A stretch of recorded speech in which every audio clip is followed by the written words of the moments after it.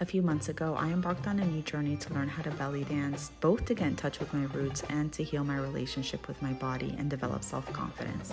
I had no idea on that first day that we would be performing a few months later in South Florida our instructor Zizi created a choreography and was so patient with us. And I've always known that movement is so important for healing trauma, but I had no idea the extent that I needed this after everything I had been going through in the past couple of years.